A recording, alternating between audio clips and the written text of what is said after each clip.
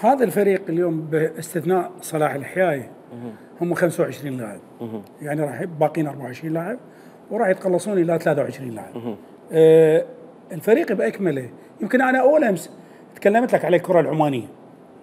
آه آه هؤلاء اللاعبين عندهم تجربة وخلال لقاءاتك اللي سويتها مع الأخوة العمانيين أنا باعتقادي آه بعتي البصرة حاضرة في أذهان اللاعبين زائدا للأخوة الإعلاميين صح. اللي حضروا وين؟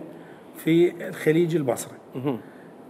المعاناة اللي يخاف يخافون من عندها يعني سواء الوفد كله الوفد العماني هو آه، صوت الجمهور اللي راح يكون بالملعب. أنت سألتني على المباراتين، أنا باعتقادي قد يكون قد تكون القرعة آه، ما كانت بصالح الفريق العماني يذهب إلى العراق ومن ثم يعود إلى إلى إلى مسقط ليلاقي الفريق الكوري الجنوبي الفريق الفريق الأقوى والمرشح. اذا أول مباراتين ما هي سهلة على الفريق العماني. الفريق العماني وين معاناته؟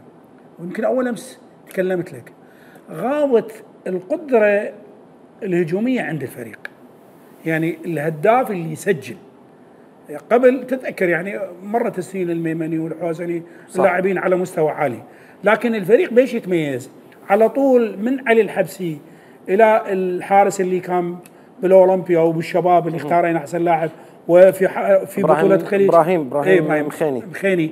فعلى طول تلقى حراسة المرمى قد يكون مركز قوة عند الفريق. أنت تكلمت على الضعف والبطء بالحالة الدفاعية. صح. إحنا أقوى مع أقوى خطوطنا وتكلمنا بالأمس. أقوى الخطوط اللي عندنا اللي تلعب المهاجم واللي ورا المهاجم الثالث. الآن راح نرجع على خيارات المدرب. وما تعرف ما تعرف بدور ينزل والله ما تعرف. لو, لو أنا أنا هسه نسولف أنا وياك. لو نريد نحط تشكيلة هي. إحنا ما نحط تشكيلة. نقول بالله هسه باكر آه، دانييلو لو يوسف.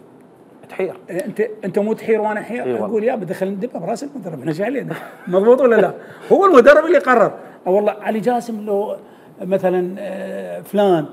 يا شو علينا المدرب؟ هاي أنت من تحتاج مرات أنت تحط تشكيلة. خلي شوية ضاقك يوم الأيام أنا ادرب بالإمارات. واحد قريب على الفريق.